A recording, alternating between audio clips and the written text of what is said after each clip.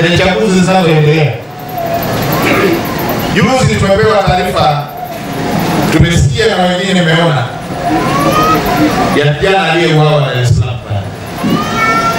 Ni mambo ya kinyama, ni mambo yanayosikitisha sana. Mtu kuwa chama chochote kile haimfanyi, haimuondolei ubinadamu wake. Sasa ndugu yetu pale mmoja tumepata hizo taarifa, yupo kwenye kwenye mchakato ule na alikuwa na kwenye mchakato tangu mwanzo ile ya ndani ya vyama, ameuawa na kikatili bwana.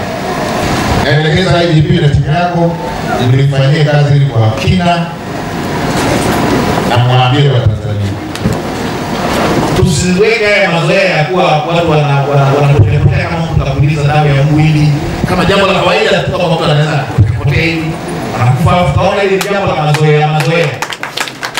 Mataifa ya wenzetu, mtu akiuawa, mtu akifariki, shughuli zingine zote zinasimama. Siwezekani watu wanakufa kama mtu anapuliza dawa ya mwili, kama mtu anapuliza dawa ya mende hivi.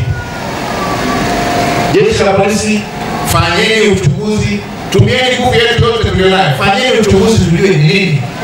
Maswala ya demokrasia